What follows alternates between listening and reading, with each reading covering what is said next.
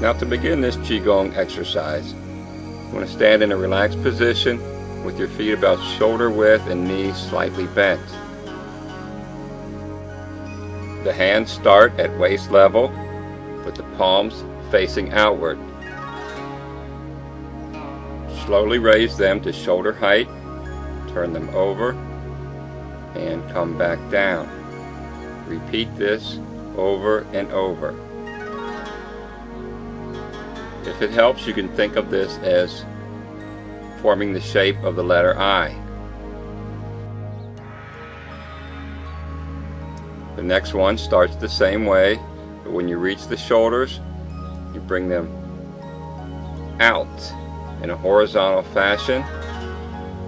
Then turn the palms up, come back in to the center of your chest, and down to the beginning or starting position. This one kind of forms the letter T.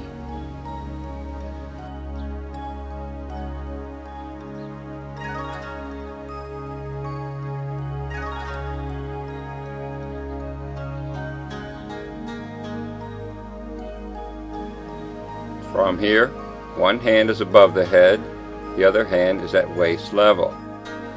The arms are at 90 degrees to each other. Notice how the feet move on this one. You pick up the toes, you're pivoting on the heel.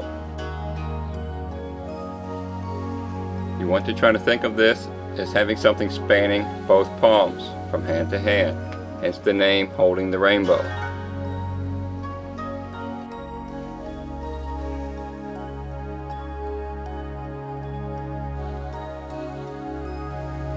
Here you want to scoop lift, and as you reach above your head, the hands slowly separate, making a circular movement on either side, coming back to the beginning position.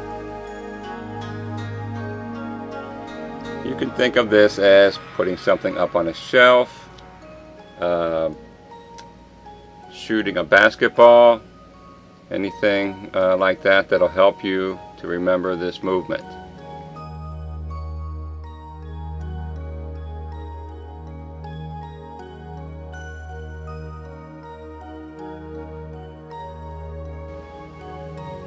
Now as you finish, you place both hands over the dantian area, which is 3 inches below the navel.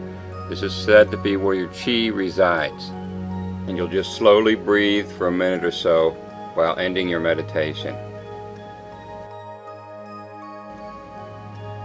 Here I'm just showing the same movements from the side view.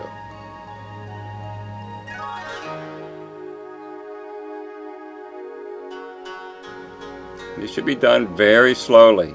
I'm actually doing them a little faster uh, just because I don't want to spend a lot of time uh, as far as the video goes. It get a little bit boring to watch. Really, you want to try to do these as slowly as you can. Also, if you noticed, the first part I only did them three times each. Again, that's not how you want to do it either. You're going to do these moves, each move, like the beginning move, 10, 20, 30 times before you move on to the next move of opening the chest. Then you'll do that move 10, 20, 30 times. Now I'm not saying that I want you to count them because then you won't be concentrating on the breathing and on the movements and relaxing your body. But that's the amount of time that you'll end up spending. So each move you may spend three, four, five minutes just doing each one before moving on to the next one. Just kind of use your own judgment on when it feels like it's time to go on to the next move. I think you'll find that it puts you into a very relaxed state. You also may feel a little bit of a tingling in your hands, but this is normal. This is said to be the chi moving throughout your body. Now as far as the breathing goes, I would just breathe normally. You can either breathe through the nose or in through the nose and out through the mouth. If you want to try to coordinate it with the movements, you're going to exhale right here.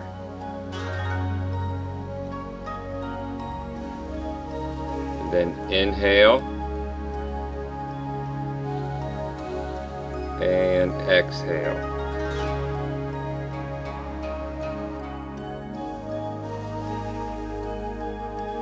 Basically, you want to inhale on the first half of the movement and exhale on the second half.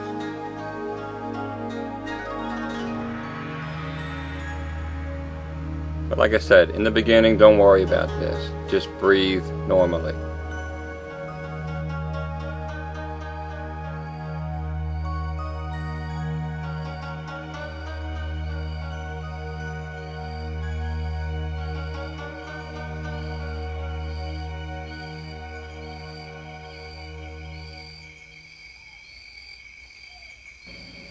Now there are actually eight movements to this particular type of Qigong. These are just the first four. I'll show the other four later on.